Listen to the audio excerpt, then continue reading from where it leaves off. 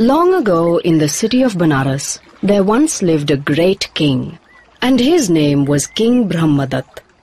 He was loved by all the people in Banaras, for instead of taxing people or making war, King Brahmadatt loved to garden, and of all the plants and trees in the city, his favorite was the blossom tree.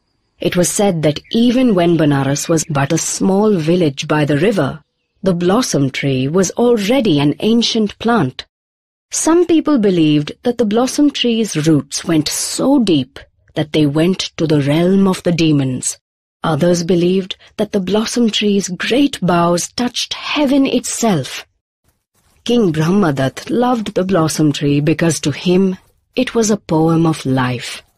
He spent a lot of time in its shade, but for all the time King Brahmadatt spent beneath the boughs of the blossom tree, he never once noticed the little kusha grass that grew around the tree, or the little chameleons that played around.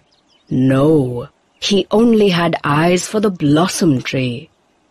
But the spirit of the blossom tree knew all about the kusha grass, and its spirit, and the chameleons, for they had been friends for longer than time.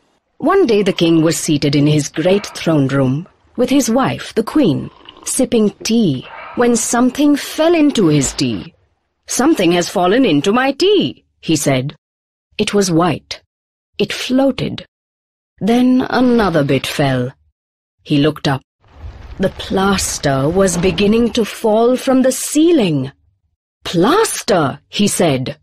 Suddenly there was a great rumble in the palace.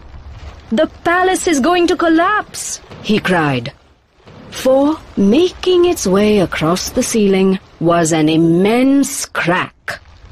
And great chunks of plaster were falling all across the great throne room, and in the great wooden pillar which held up the entire palace. There was a deep crack. Carpenters, builders, he cried. Quickly, go out into the parks, into the gardens, Find a tree to replace the pillar. Hurry! We must repair the palace. So the carpenters and the builders searched from park to park, tree to tree, measuring, trying to find a tree great enough to replace the pillar. But it was not long before one of the head carpenters returned to the king and fell on his knees before him. Your Majesty, it pains me to report that there is only one tree great enough to replace the pillar. Well, what is it? What is it? asked the king. It is the blossom tree. The king looked at the builder. The jewel of Benares? The most beautiful tree in all of India? No, no, there must be another.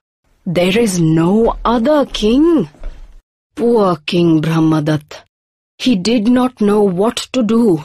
He could either save the blossom tree or let his palace collapse. But he could not do the latter. His servants, his family lived there. The people needed to see the king in the palace. It was too big a decision for the king, so he went that night out into the park to the blossom tree itself.